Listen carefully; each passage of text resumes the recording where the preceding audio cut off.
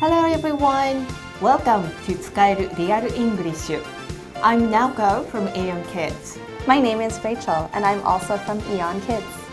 日常の場面で使える英語表現を私たちと一緒に楽しく練習していきましょう。Are you ready?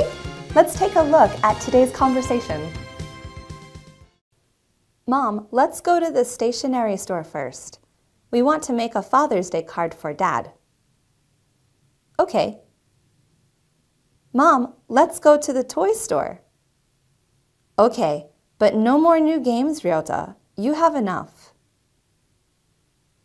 今回はさくらがお母さんと弟のりょうたと買い物をしているシーンでしたね。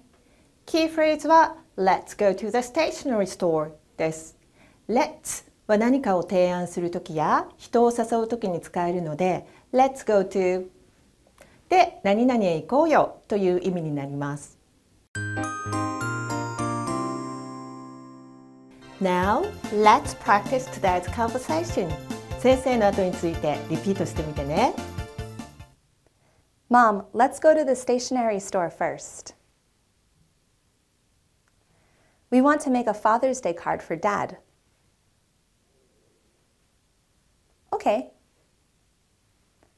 Mom, let's go to the toy store.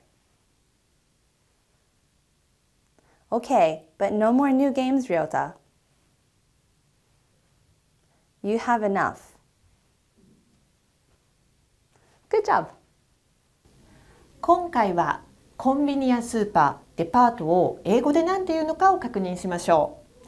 コンビニは convenience store、スーパーは supermarket、デパートは department store となります。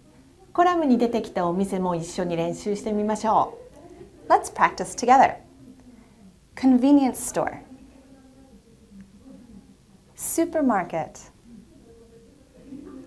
Department store. Bookstore. Bakery. Flower shop. Drugstore.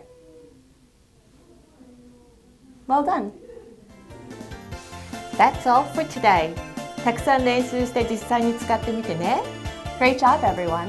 Try to use today's phrases and have fun speaking English. See you next time. Bye.